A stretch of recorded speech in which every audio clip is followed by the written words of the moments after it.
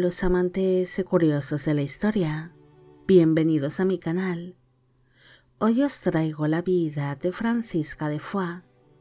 Ella será una noble francesa que se acabará convirtiendo en la primera amante oficial del rey Francisco I de Francia, siendo apodada por ello como la amada del rey pero el inicio de esta relación estaría orquestado por los engaños de dicho monarca para atraer hasta sus brazos a la condesa. Esta biografía está realizada por petición de Martín, Silvia Cristina Monroy y Marga Murua.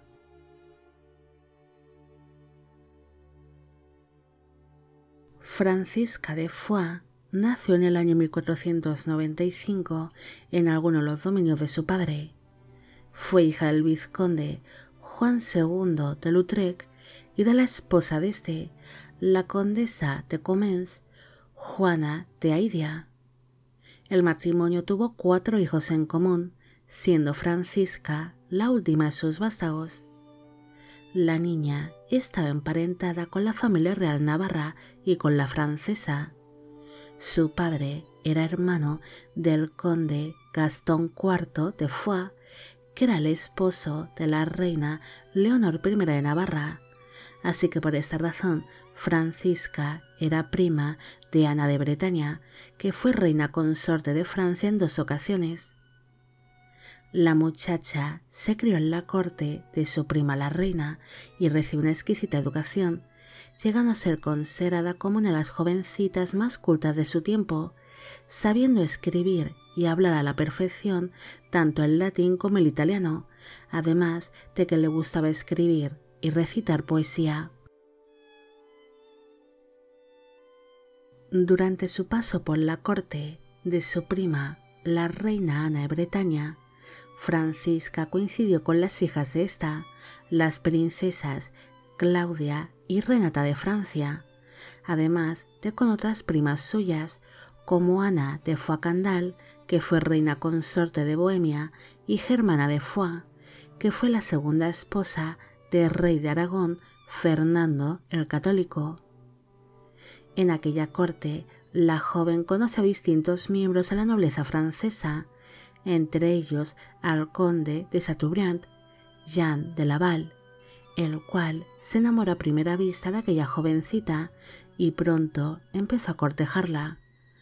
Así que como aquel conde ardían deseos por desposar a Francisca, la corona francesa aceptó que se comprometiesen en el año 1505, aunque para entonces Francisca tan solo tenía 11 años de edad y ya era descrita como una muchacha de notable belleza, alta, delgada, ojos claros y cabellos oscuros. Jean de Laval deseaba mucho a Francisca y no podía esperar a que se celebrase la boda entre ellos, así que se aprovechó la confianza que mantenía con la corona francesa para llevarse a su prometida consigo hasta la población de Chateaubriand, con la excusa de enseñar a la muchacha su futuro hogar. El conde había prometido a los monarcas franceses que cuidaría y que respetaría a su prometida pero la pareja compartió el mismo lecho durante aquellos días que duró la visita, ocasionando con esto que Francisca se quedase embarazada cuando tan solo tenía 12 años de edad. Aquel embarazo sería un gran escándalo, así que la reina Ana de Bretaña intentó ocultarlo, permaneciendo así Francisca apartada de la vida en la corte, hasta que alumbró en el año 1508 a su hija, una niña que se llamó Ana en honor a la reina francesa. Francisca tan solo tenía 13 años de edad cuando alumbró a la que sería su única hija, ya que el embarazo sería muy costoso para ella debido a que era demasiado joven. Así que se cree que al haber tenido un embarazo y un parto complicado a una edad tan temprana, esto la dejaría incapacitada para tener más hijos. Pese al escándalo que vivió Francisca por haber alumbrado una hija fuera de un matrimonio, en el año 1509 se celebró la boda de la pareja, Para entonces, ella tenía 14 años de edad en el momento de la unión y él 23. Nada más casarse, la pareja abandonó la corte francesa y se instalaron en la población de Chateaubriand, donde se mostraron como una pareja muy enamorada. Su matrimonio se mantendría fiel y muy feliz por unos cuantos años, donde se mostraron siempre muy apasionados. Pero en el año 1516 los condes visitaron una de las propiedades de la corona francesa y allí coincidieron con el nuevo rey Francisco I de Francia, el cual vio a Francisca de refilón durante la visita, pero fue suficiente para él para sentir un especial interés por aquella joven de larga melena oscura y de bonita figura. Así que el monarca mostró un gran interés por aquella mujer y empezó a preguntar a sus conocidos algunos datos sobre Francisca, llegando a sentir aún más interés por la condesa según iba conociendo más cosas sobre ella.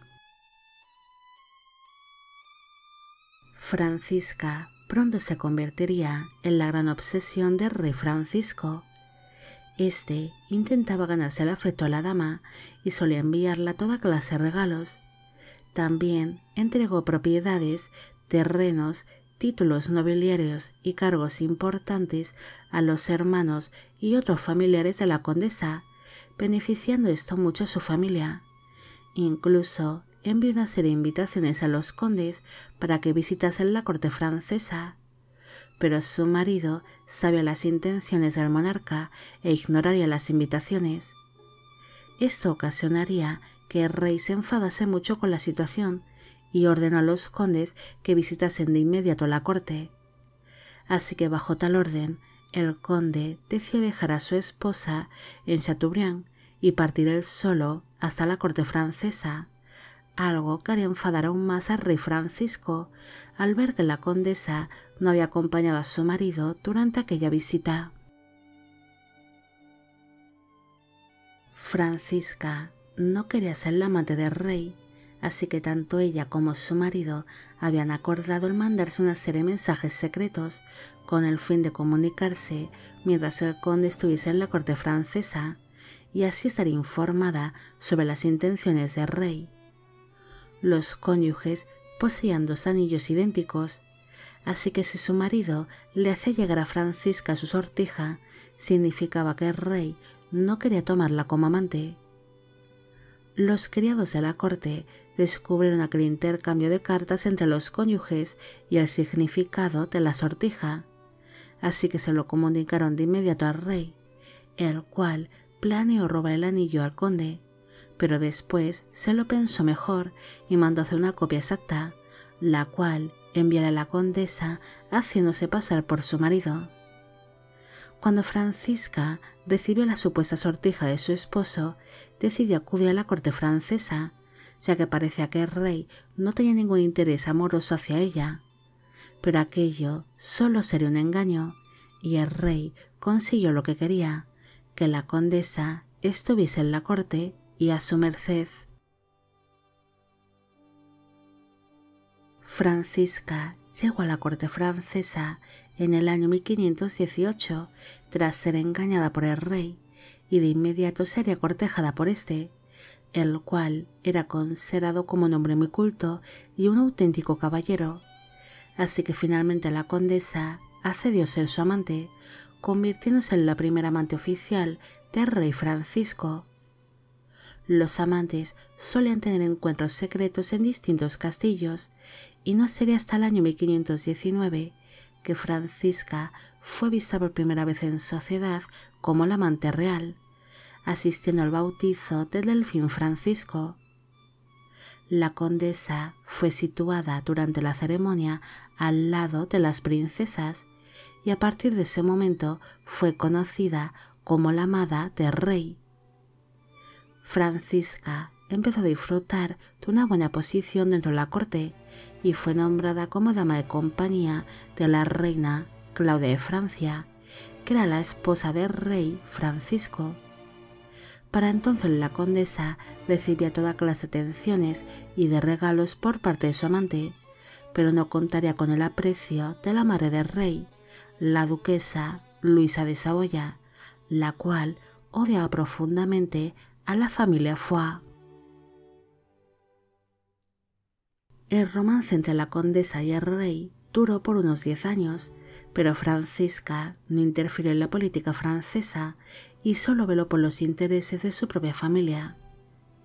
Ella permaneció en la corte francesa durante las largas ausencias del monarca, debido a que Francisco participó en las guerras italianas, pero durante la batalla de Pavia, el monarca francés sería capturado por su enemigo y permaneció como prisionero del emperador Carlos I de España y V del Sacro Imperio Romano Germánico en la ciudad de Madrid. Cuando Francisco regresó a Francia en el año 1526, este se encaprichó de una nueva amante, la duquesa de Tamp, Ana de Bisalou. Ambas mujeres se convirtieron en grandes rivales y lucharon entre ellas por conseguir las atenciones del rey. Pero tras dos años de rivalidad, la condesa decidió regresar a la población de Satubrán junto a su marido. Se sabe que antes de abandonar la corte francesa, la condesa y el rey mantuvieron una serie de discusiones debido a que el monarca no quería que Francisca abandonase la corte, pero la condesa estaba muy cansada de luchar continuamente contra la nueva amante real, que era quien recibía todas las atenciones del rey. Así que durante una de esas discusiones previas a la partida de la condesa, el monarca le exigió que devolviese todas las joyas que éste le había regalado durante sus diez años de relación. Francisca se mostró muy ofendida ante los reclamos del rey, así que ordenó que todas estas joyas fuesen fundidas y unidas en una sola pieza de oro con piedras preciosas. Después se la hizo llegar al monarca junto a una nota que el rey leyó desconcertado. En aquella nota, la condesa le echaría en cara el asunto del anillo con el que la engañó para traerla a la corte francesa diez años atrás, y aquello sería una especie de venganza hacia su amante. Francisca continuó con su vida tras alejarse a la corte francesa.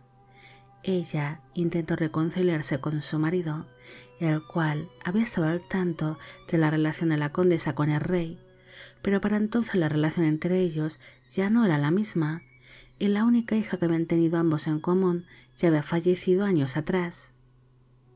Tras abandonar su puesto como amante real, su marido siguió manteniendo su cargo como gobernador del Ducado de Bretaña, y Francisca siguió intercambiando correspondencia con el rey Francisco. Ambos habían dejado atrás las discusiones y se habían convertido en buenos amigos. Incluso se sabe que el monarca solía visitar de vez en cuando el castillo de los condes cuando se encontraba por la zona y se llegaría a hospedar en dicho castillo. Aunque la relación entre la condesa y el rey solo sería de una buena amistad y nunca más volvieron a ser amantes.